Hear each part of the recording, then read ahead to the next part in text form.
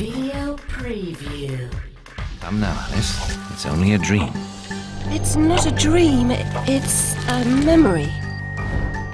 It's been more than 10 years since American McGee's Alice hit PCs, a cult classic that has sold more than a million copies. Alice is now back again, and on consoles this time around, in Alice Madness Returns. The story picks up 10 years after the events of the first game. You don't need to have played the first game to enjoy this one, however, but those who have will see the return of familiar characters and locations expressed in this beautifully crafted environment. Like its predecessor, Alice is an action game with platforming elements. The story is like a murder mystery, where Alice is trying to piece together her tragic past, where her parents and sister died in a fire 10 years ago.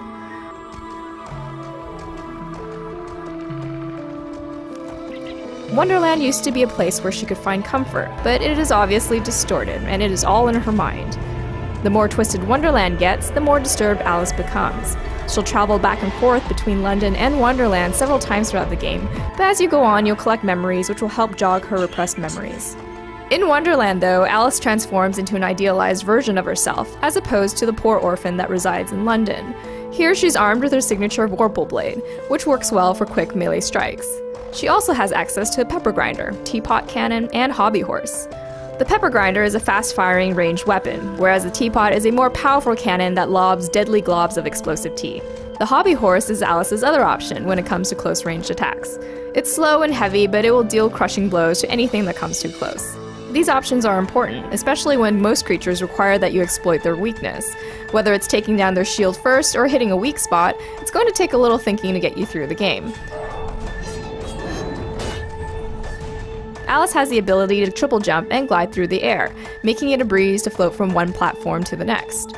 In certain areas, she may need to call upon her ability to shrink, which not only allows her to get into tight spaces, but she can also see platforms that would otherwise be invisible, as well as drawings left behind by the insane children.